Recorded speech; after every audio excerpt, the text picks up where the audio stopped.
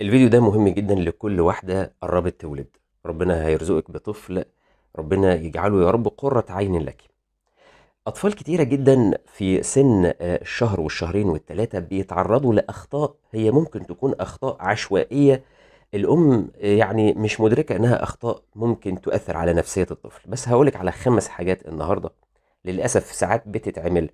ولما بتتعمل من الأم بسلامة نية هقول إنها بسلامة نية للأسف دي بتأثر على نفسية الطفل. الطفل بعد كده بيطلع عنده عقدة ولما بنيجي ندور على السبب ممكن يكون السبب حاجة بسيطة جدا اتعملت في الطفل في عمر الشهور. تعالوا نتكلم عن خمس حاجات مضرة جدا إن أنت تعمليها مع طفلك الرضيع وبتأثر على نفسيته في المستقبل.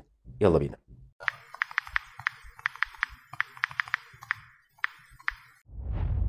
السلام عليكم ورحمة الله وبركاته. أهلا وسهلا بحضراتكم. حلقة جديدة نبدأها بسم الله الرحمن الرحيم.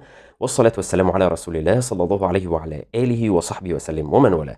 أذكركم ونفسي بكثرة الصلاة على الحبيب المصطفى صلى الله عليه وعلى آله وصحبه وسلم. فبها نسعد بإذن الله تعالى. أول حاجة أنا عايزك تكوني قريبة من ربنا سبحانه وتعالى فعلا وتدعي ربنا إنه يصلح لك ذريتك. دي لوحدها بس كفيلة إنها فعلا تنعم عليك بذرية حتى ولو لقيتي فيهم في يوم من الأيام شوية دلع وشوية عند وشوية كذا لكن ربنا هيستجيب إن شاء الله وهيصلح لك ذريتك بإذن الله تعالى. تعالوا نتكلم على خمس حاجات. أول غلطة هي إن أنت ما ترضعيش طفلك وتجري على الرضاعة الصناعية. ما نجريش على الرضاعة الصناعية إلا في حالة الضرورة. حتى لو كان هناك رضاعة صناعية أنا عايزك وأنت بترضعي طفلك إن أنت تحط طفلك تحط طفلك راسه ناحية القلب بتاع حضرتك.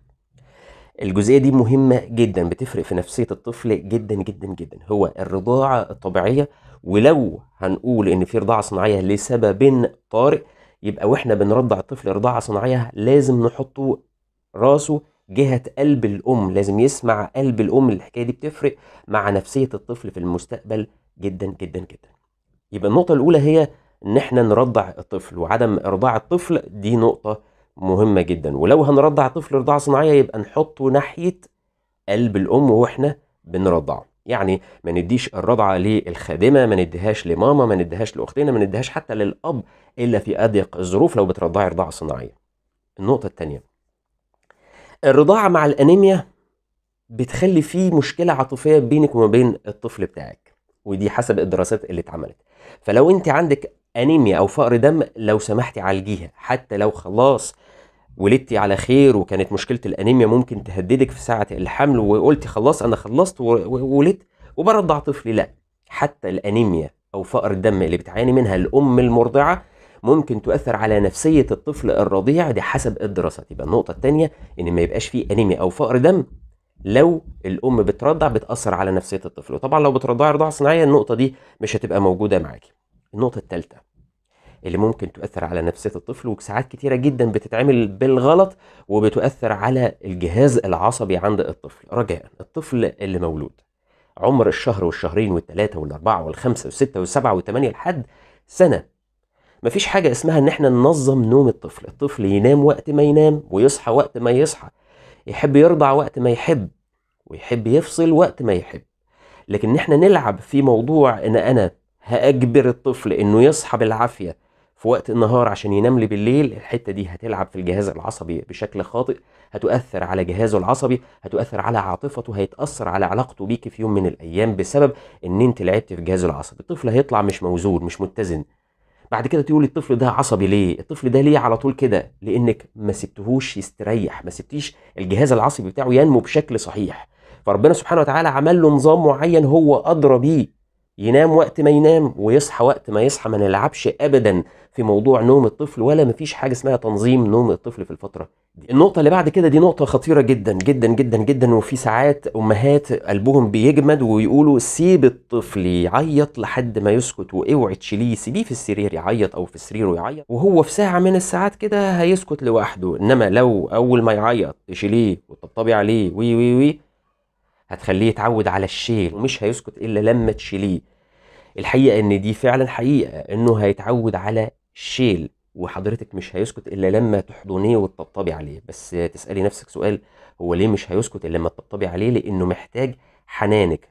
أما لو تركتيه بدون حمل وبدون طبطبة لحد ما يسكت ده هيؤثر على العاطفة عنده وهيؤثر على إحساسه بالأمان ناحية أمه. في يوم من الأيام البذرة الصغيرة اللي انت زرعتيها دي انت مش هتحس بيها دلوقتي هتحس بيها في المستقبل لأنه فقد جزء من الأمان لما كان طفل صغير رضيع. لو سمحتي الطفل لما يعيط ويبكي ما تسيبهوش يبكي ما تسيبهوش يبكي لازم تشيليه لازم تطبطبي عليه. اولا لعدد من الأسباب.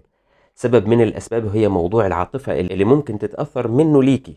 النقطة الثانية البكاء الشديد وترك الطفل بدون إن إحنا نسكته وإن إحنا نطبطب عليه ده ممكن يعمل له فتق والفتق ده هيبقى مشكلة صحية بالنسبة للطفل من كتر البكاء والصراخ.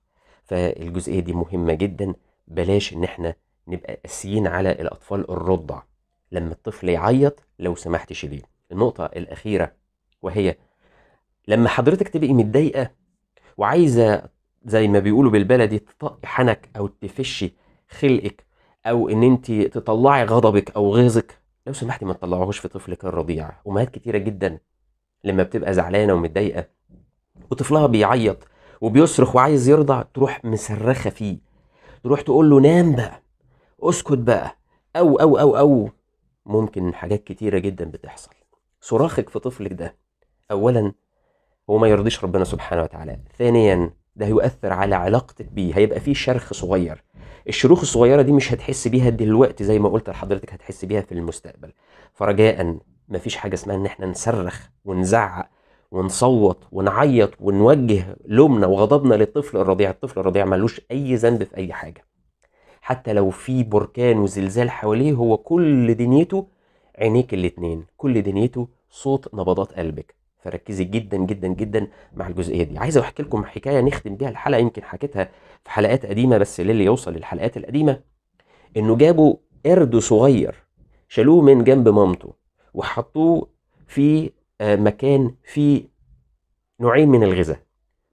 ببرونة فيها حليب وببرونة فيها حليب. الببرونة اللي فيها حليب في الغرفة الأولى كانت لوحدها كده.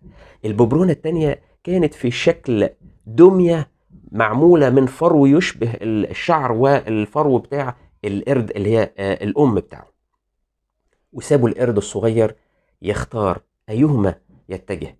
يتجه ناحية الببرونة اللي فيها حليب برضه بس معهاش حاجة ولا الببرونة اللي فيها حليب وفيها دمية فيها شعر فيها ملمس حنان الأم. القرد الصغير اختار طبعا الدمية اللي فيها الفرو وفضل نايم عليها لأنه يبحث مش بس عن الغذاء الطفل الصغير لما بيرضع من أمه أو حتى بيرضع رضاعة صناعية هو لا يبحث فقط عن الغذاء هو يبحث عن الحب والأمان والأمان والأمان. ولما بتعملي شرخ في الحتة دي بتاعة الأمان أنت بتؤثري على نفسيته بيطلع طفل مش سوي بيطلع طفل مش عنده قدرة على حاجات كتيرة جدا السبب فيها الشرخ الصغير اللي إحنا عملناه وهو طفل رضيع. بشكركم. سلام عليكم.